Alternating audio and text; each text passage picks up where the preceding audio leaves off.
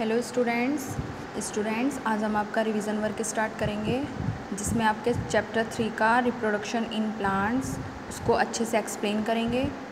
Then reproduction in plants का मतलब होता है जो प्लांट्स के अंदर रिप्रोडक्शन होता है। रिप्रोडक्शन मतलब जो एक से दो रिप्रोड्यूस होने के बाद जो लिविंग ऑर्गेनिज्म होते हैं, वो अपने ही तरीके का, यानी कि जैसे वो होते हैं, खुद ऐसे ही तरीके का एक और अपने अंदर से प्रोड्यूस करते हैं रिप्रोड्यूस करते हैं। तो उसी को ही बोलते हैं रिप्रोडक्शन यानी कि दोबारा से उसका प्रोडक्ट होना, यानी कि प्रोड्यूस होना प्रोडक्शन होना। तो प्लांट्स के अंदर पढ़ेंगे इस चीज़ के लिए। चलिए स्टार्ट करते हैं। सभी बच्चे अपनी कॉपी को ओपन करेंगे नोटबुक को ओपन करेंगे और चैप्टर थ्री निकालेंगे। कीवर्ड्स सबसे पहले कीवर्ड्स पढ़ेंगे। फ़र्स्ट कीवर्ड है the male part of the flower, यानी कि फ्लोवर का मेल पार्ट। उसको क्या बोलते हैं? फ्लोवर के मेल पार्ट को स्टेमन बोलते हैं। बच्चों क्या बोलते हैं? Stamen. S T A M E N stamen. Second है it develops into a new plant यानी कि जो न्यू प्लांट में डेवलप होता है, उसको क्या बोलते हैं? Embryo E M B R Y O embryo बोलते हैं उसको। थर्ड है the tube that connect the pistil to the ovary उस ट्यूब का नाम बताना है जो पिस्टिल से कनेक्ट होती है, कहाँ तक कनेक्ट होती है? ओवरी तक। यानी कि जो पिस्टिल से ओवरी तक कनेक्ट होती है, उस ट्यूब का क्या नाम है? तो उस ट्यूब को बोलते हैं style S T Y L E next है it provides nutrients to the embryo of the seed यानी कि जो एम्ब्रियो होता है, वो न्यूट्रिएंट्स प्रोवाइड करता है। कहाँ, किसे प्रोवाइड कराता है? वो कराता है सीड को। To the embryo of the seed यानी कि सीड का जो एम्ब्रियो होता है, वो प्रोवाइड कराता है न्यूट्रिएंट्स तो उसको क्या बोलते हैं? एंडोस्पम यानी कि वो क्या होता है? जो प्रोवाइड कराता है न्यूट्रिएंट्स एम्ब्रियो सीड के जो एम्ब्रियो होते हैं, उसको एंडोस्पम नेक्स्ट है the innermost circle in a flower यानी कि फ्लोवर के अंदर जो सर्किल होता है इनर मोस्ट सर्किल जो होता है, उसको क्या बोलते हैं? तो बच्चों, उसको बोलते हैं pistil P I S T I L pistil next है आपके डिफाइन डिफाइन पर ध्यान दीजिए सभी बच्चे. फ़र्स्ट है reproduction the process by which a living organism is able to produce more of its own kind is called reproduction.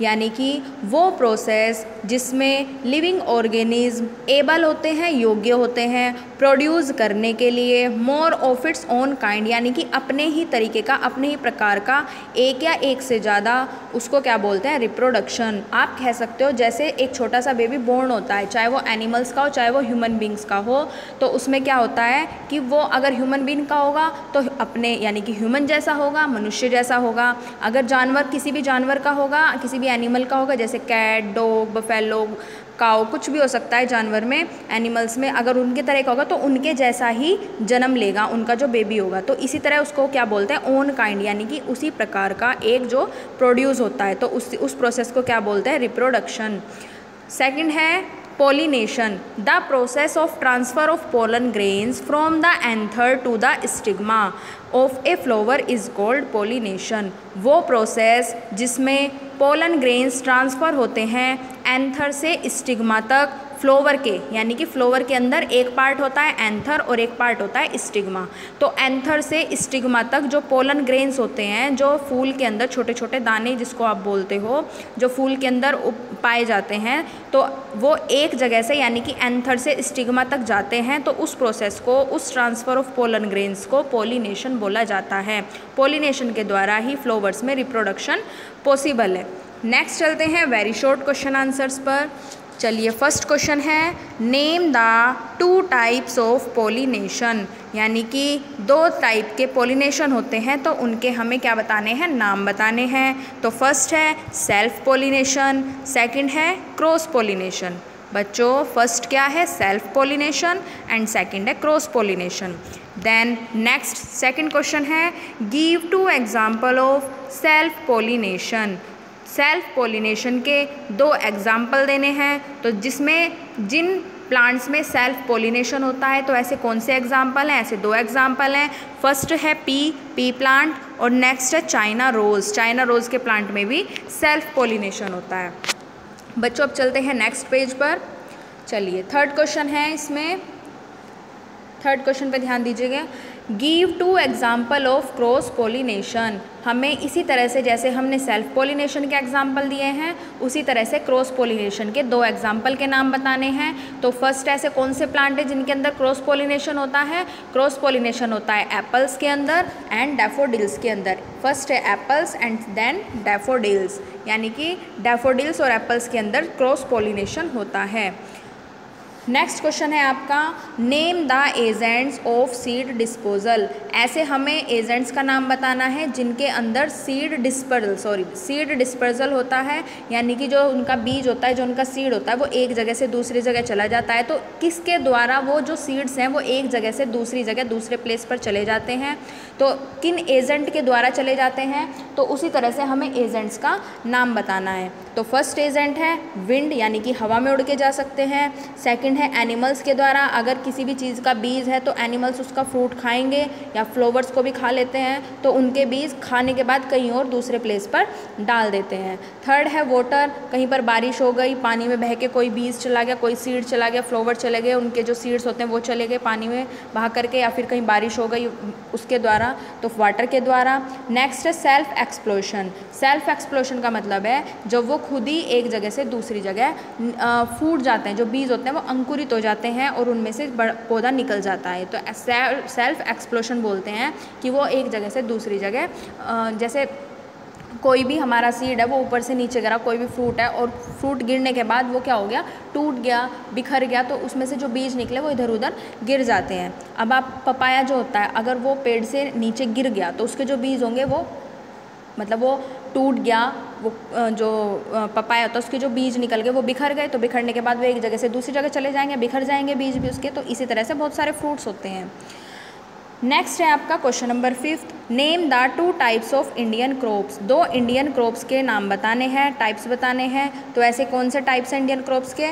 Food crops and cash crops food crop और cash crop Indian crops हैं। Crops के प्रकार हैं type है। Next question है give two example of self explosion यानी कि self explosion के दो एग्ज़ाम्पल बताने हैं, जिन, जो खुद से ही एक्सप्लोइट हो जाते हैं सीड डिस्पर्सल होता है जिनका खुद से। तो पोपी प्लांट के सीड एंड पी प्लांट के सीड दो ऐसे प्लांट हैं जिनका सेल्फ एक्सप्लोनेशन होता है। नेक्स्ट क्वेश्चन है write the common mode of vegetative propagation और रिप्रोडक्शन वेजिटेटिव प्रोपोगेशन और रिप्रोडक्शन के दो कॉमन मोड बताने हैं।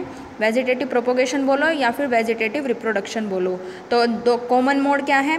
बाय रूट रूट के द्वारा बाय स्टेम स्टेम के द्वारा बाय लीफ लीफ के द्वारा इनका वेजिटेटिव रिप्रोडक्शन होता है। यानी कि वो रिप्रोड्यूस किए जाते हैं, एक से दो या दो से चार बनाए जाते हैं। तो कौन कौन से, किस मेथड के द्वारा कौन कौन से मोड होते हैं?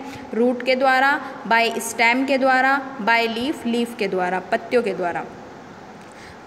आई होप सभी बच्चों को बहुत अच्छे से ये समझ आ गए होंगे। जिस तरीके से मैं आपको एक्सप्लेन कर रही हूँ, बच्चों, आपको उसी तरीके से ये लर्न भी करने हैं विद स्पेलिंग लर्न करने हैं।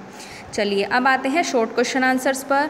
फ़र्स्ट क्वेश्चन है name the parts of a flower flower के पार्ट्स के नाम बताने हैं। तो फ़र्स्ट है सेपल्स सेकंड है पेटल्स थर्ड है स्टिग्मा फोर्थ है स्टाइल, फिफ्थ है पिस्टिल सिक्स है ओवरी, सेवन्थ है स्टेमन, एंड एट्थ है ओव्यूल। ओके, स्टूडेंट्स, एक बार और प्रोनाउंस कर देती हूँ इन सबको। फ़र्स्ट है सेपल्स सेकंड है पेटल्स थर्ड है स्टिग्मा फोर्थ है style fifth pistil six ovary seventh stamen eighth ovule ये सब पार्ट्स हैं फ्लोवर्स के। सभी बच्चों के ये सारे नाम लर्न होने चाहिए विद स्पेलिंग ओके, स्टूडेंट्स, चलिए। नेक्स्ट पेज पर चलते हैं। सेकंड क्वेश्चन है वॉट इज़ जर्मिनेशन जर्मिनेशन क्या होता है?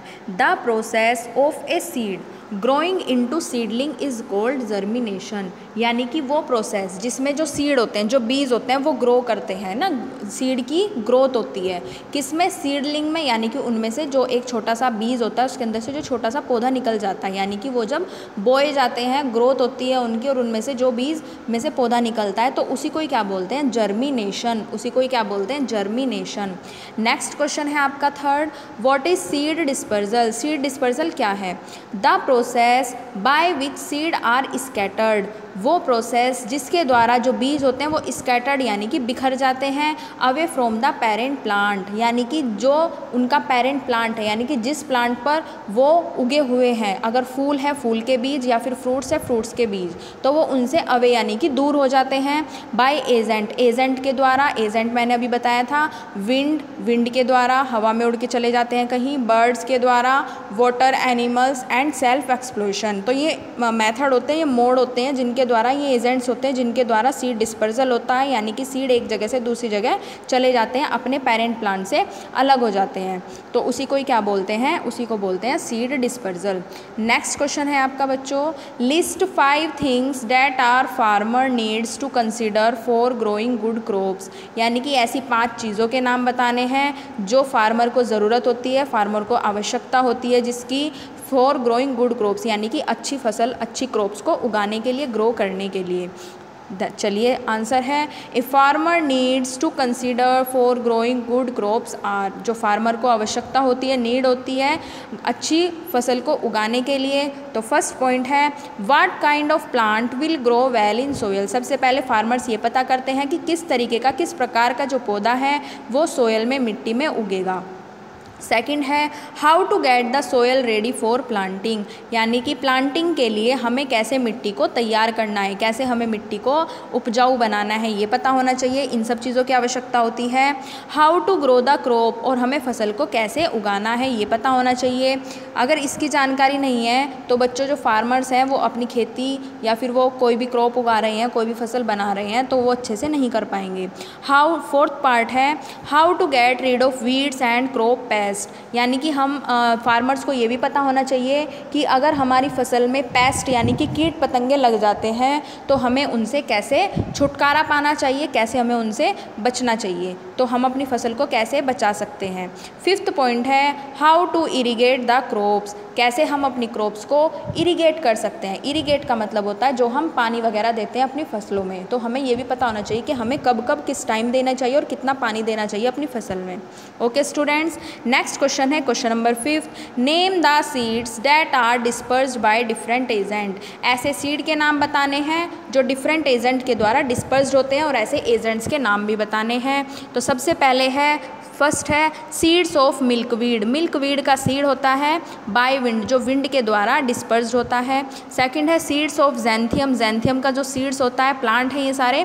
तो जैंथियम का जो सीड होता है, वो एनिमल्स के द्वारा डिस्पर्ज होता है. थर्ड है seed of water lily water lily का जो सीड होता है, वो बाय वाटर के द्वारा डिस्पर्ज होता है.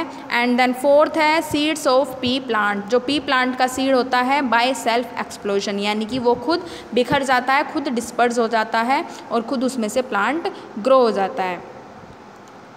नेक्स्ट क्वेश्चन है आपका, जिसमें डिफरेंस दिया हुआ है डिफरेंस पर चलेंगे। सभी बच्चे नेक्स्ट पेज ओपन करेंगे। डिफरेंस का क्वेश्चन है difference between cross pollination and self pollination तो क्रॉस पोलिनेशन क्या होता है और सेल्फ पोलिनेशन क्या होता है? चलिए पढ़ते हैं। सेल्फ पोलिनेशन पढ़ेंगे पहले। If the pollen grains from the anther of a flower are transfer to the stigma of the same flower it is called self pollination यानी कि इफ़ द पोलन ग्रेन्स जो पोलन ग्रेन्स होते हैं from the anther flower के anther से stigma तक transfer हो जाते हैं स्टिग्मा तक चले जाते हैं ऑफ़ द सेम फ्लोवर और सेम फ्लोवर के होने चाहिए वो पोलन ग्रेन्स यानी कि जो सेम फ्लोवर होता है, यानी कि एक प्लांट पे जो दो फूल लगे हुए होते हैं, उनके जो पोलन ग्रेन्स होते हैं, वो फूल के एंथर से फूल के स्टिग्मा तक जब चले जाते हैं, आपस में चेंज हो जाते हैं ट्रांसफ़र हो जाते हैं तो उसी को ही क्या बोलते हैं? सेल्फ पोलिनेशन यानी कि एक ही प्लांट के एक ए सेम फ्लोवर जो ट्रांसफ़र हो जाते हैं उनके पोलन ग्रेन्स तो उसी को ही सेल्फ पोलिनेशन बोलते हैं। एग्ज़ाम्पल है pea plant and China rose next है क्रॉस पोलिनेशन क्रॉस पोलिनेशन की बात करें if the pollen grains from anther of one plant reach the stigma of a flower on another plant यानी कि अब हमने यहाँ जो सेल्फ पोलिनेशन में बात की थी, यानी कि यहाँ पर जो बात की थी, वो थी सेम फ्लोवर यानी कि उसमें क्या था? सेम फ्लोवर थे। ठीक है? अब जो हम बात करेंगे, उसमें हम बात करेंगे क्रॉस पोलिनेशन की। यानी कि इसमें हम कि, इसमें किस चीज़ की बात करेंगे? इसमें जो प्लांट होंगे, वो क्या होंगे? डिफरेंट होंगे। यानी कि एक जैसे नहीं होंगे। ठीक है? स्टूडेंट्स, समझ आ रहा है? चलिए। तो जो इसमें पोलन ग्रेन्स होंगे, वो डिफरेंट फ्लोवर्स के होंगे डिफरेंट प्लांट के होंगे। तो उसके एक फ्लोवर के, एक प्लांट के एंथर से दूसरे प्लांट के स्टिग्मा तक जब पोलन ग्रेन्स ट्रांसफ़र हो जाते हैं, यानी कि एक से दूसरी जगह चले जाते हैं सेम डिफरेंट फ्लोवर के तो उसी को ही क्या बोलते हैं? क्रॉस पोलिनेशन और इसके एग्ज़ाम्पल हैं एप्पल्स एंड डेफोडिल्स तो इसके दो एग्ज़ाम्पल हैं क्रॉस पोलिनेशन के एप्पल्स एंड डेफोडिल्स ठीक है? एप्पल्स और डेफोडिल्स के जो पोलन ग्रेन्स होते हैं, वो डिफरेंट फ्लोवर्स के डिफरेंट फ्लोवर तक पहुँचते हैं तो उसी के द्वारा क्रॉस पोलिनेशन होता है। बच्चों, आपका ये चैप्टर कंप्लीट होता है। बहुत अच्छे से ये वीडियो देखनी है आपको, बहुत अच्छे से समझनी है और सभी बच्चों को सारे question answers with spelling learn भी करने हैं। Thank you students have a nice day